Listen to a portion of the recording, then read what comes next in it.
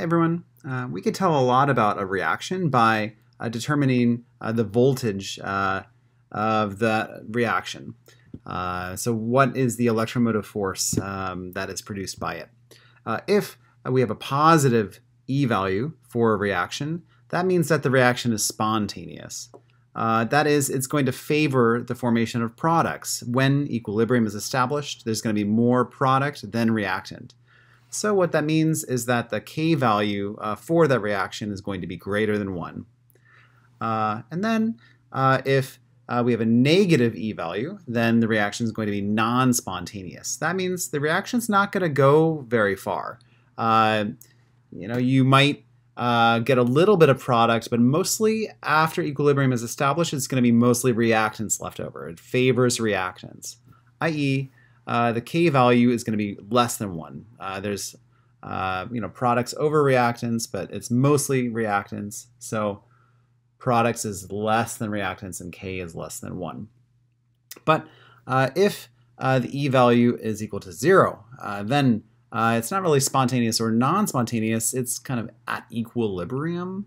it doesn't really favor, at that point, products or reactants. Uh, so uh, there might be just as much product as reactant. Uh, the K value uh, might be equal to 1. You know, uh, 1 over 1, you know, product, just as much product as reactant. That would give you a value of 1 for K. so we can see that there's a relationship between the value of the voltage of the cell and the equilibrium constant by uh, taking a look at these equations. Uh, first, uh, we can determine the voltage of a cell from uh, the equilibrium constant uh, for the reaction of that cell. Um, e is equal to uh, 0.0257, which is kind of derived by the temperature and the value of R and one other constant. Um, and then it's then divided by n. Uh, so n uh, is the number of moles of electrons in the balanced chemical equation that are transferred. So that can be either uh, the electrons on the left or the electrons on the right. Those are the same thing. Uh, and then uh, after we do 0.0257 divided by n, we multiply by ln of k. And then uh, you can manipulate that equation to get uh, the equilibrium constant by knowing the voltage of the cell uh, and uh, n, the number of moles of electrons in the balanced chemical equation. Uh, and you can get all that uh, k by taking e to all of that. Um, so, you know, in your calculator, e caret, you know, caret, um, and then the voltage of the cell times n over 0.0257. So uh, let's go ahead and now solve a problem. Uh, determine the voltage uh, for this reaction and the equilibrium constant for this reaction. Um, given uh, that these two half reactions that are uh, on the uh, reduction potential chart are going to have these values for their redu reduction potentials. All right. Uh, so basically all this right here is just what's on the reduction potential chart, but we're interested in the uh, E and K for this reaction.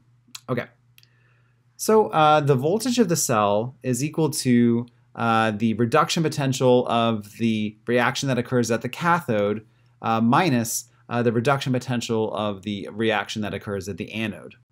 We saw last time that at the cathode, which starts with a consonant, there's going to be the reduction.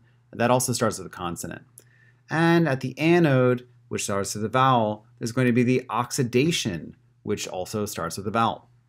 So we can know which values uh, for reduction potentials to plug in here if we know uh, what is at the uh, cathode, i.e. what is being reduced, and then what is at the anode, i.e. what is being oxidized. So uh, taking a look at the balanced chemical equation, uh, we could see that Fe3 plus is turning into Fe2 plus. Uh, so uh, that one's pretty simple. Uh, there's no other uh, atoms attached to the Fe, so we just know the oxidation number of iron is starting out as plus 3. And then afterward, it's ending up as plus 2. So going down in oxidation number is a reduction. Uh, so iron, uh, its reduction potential is going to be plugged in uh, for the cathode. All right, so E cell is going to be the uh, standard reduction potential of iron minus the standard reduction potential at the other half reaction um, cell. Uh, so that's to have the reduction potential for Mn2, oh, actually MnO2.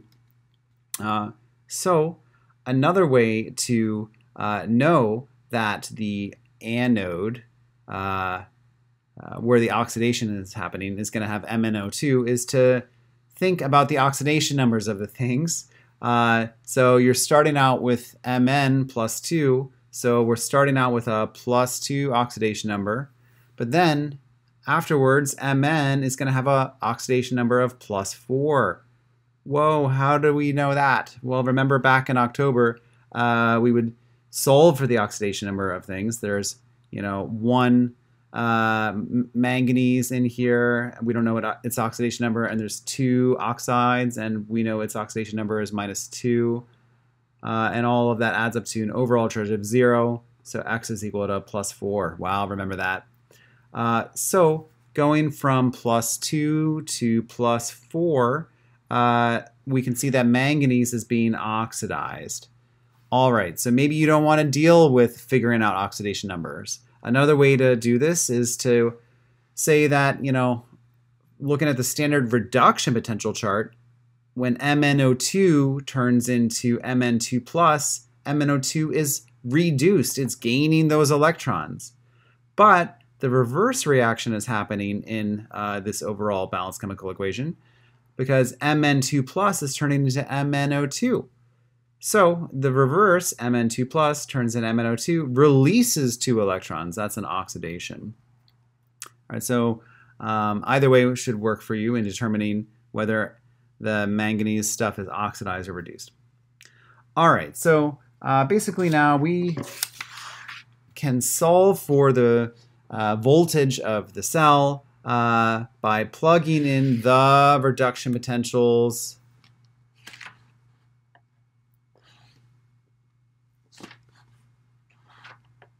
uh, into uh, cathode minus anode.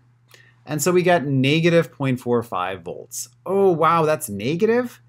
Uh, that's a non-spontaneous reaction. Now, I know on the last uh, homework problem, many people in, uh, let's see, it was number, I think, 4B, they actually tried to figure out what the spontaneous process was. And they would you know, use the diagonal rule to figure that out. Uh, so, but this uh, reaction is not necessarily spontaneous. Uh, it's not necessarily going to have a positive uh, voltage, uh, and that's why we had to figure out what is at the uh, cathode and what is at the anode. All right. so now that we know the voltage of the entire cell, we can calculate for K using this equation. So you plug in the, volt, uh, uh, the voltage of the cell. E is negative 0.45 volts. Uh, and you plug in 0.0257. But what is N? Okay, so going back to the balanced chemical equation, uh, we can kind of figure out how many electrons were transferred in it. That is going to be N. Uh, you know, two Fe3 pluses turned into two uh, Fe2 pluses. Every time an Fe3 plus turns into Fe2 plus, it needs one electron. But that reaction happened twice. Uh, and so uh, there's two electrons uh, that are being absorbed by the iron. Um, and so N is equal to 2. Another way to look at it is Mn2 plus turned into MnO2. Just, you know, one MnO2 plus turned into one MnO2. So when one Mn2 plus turns into one MnO2, two electrons are released. Uh, so n is equal to 2. So uh, when you plug in 2, and then you do e2, all of that uh, power, then you get k is equal to 6.18 times 10 to the negative 16. Whoa, you're not going to have a lot of product here. k is much less than 1. That makes sense. Uh, this is a negative E cell, so it is non-spontaneous. k should be less than 1.